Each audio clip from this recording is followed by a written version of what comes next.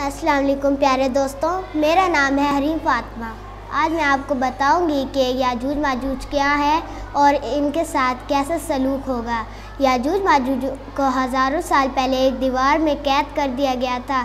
ये एक गाँव के करीब पहाड़ों की दूसरी साइड पर ये बसते थे।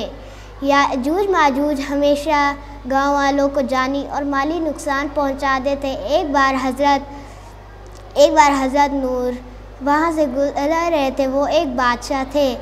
उन्होंने हज़रत जुल्कर नैन ने एक दीवार बनाने का हुक्म दिया तो गाँव वाले ईंटें और पत्थर ले आए और साथ में पिघला हुआ तांबा ले आए। तो हज़रत जुल्कर नैन ने दो दीवारें बना के उनके बीच पिघला हुआ तांबा डाल दिया। हज़रत जुल्कर हज़रत जुल्कर नैन ने जब वो दीवार तामीर कर ली तो उन्होंने अल्लाह का शुक्र अदा किया। अब मैं आपको बताऊँगी कि इनके साथ क़्यामत के दिन क्या होगा। याजूज माजूज की दीवार क़्यामत के दिन गौर कर दी जाएगी और ये बाहर आ जाएँगे। ये इंसानों को ढूंढेंगे। और फिर अगर इनको कोई इंसान नहीं मिलेगा तो ये कहेंगे कि हमने ज़मीन पर कब्ज़ा कर लिया है और फिर ये अपने तीर आसमान पर फेंकेंगे और कहेंगे कि अब हमने आसमान पर भी कब्ज़ा करना है।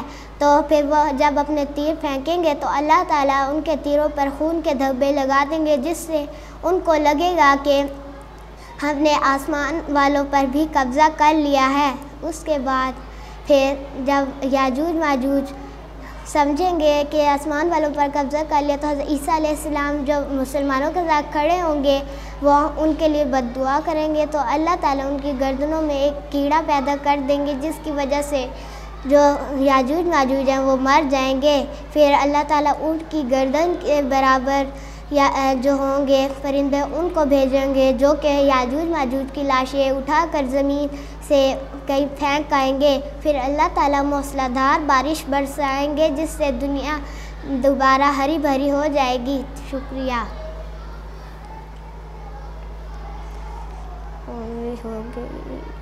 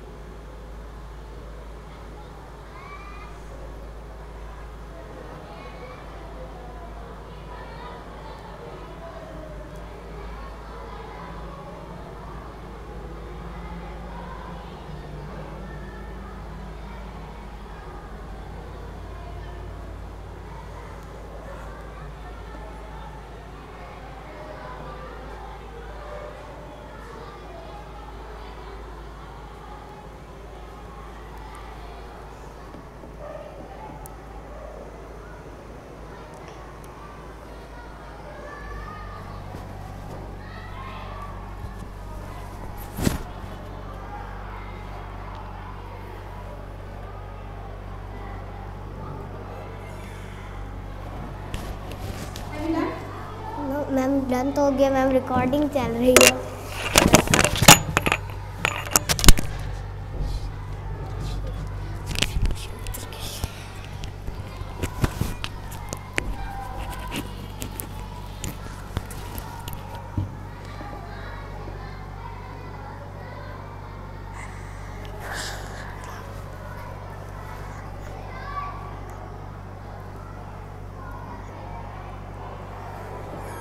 मैम डन तो हो गया मैम कब से ऐसी चली जा रही है।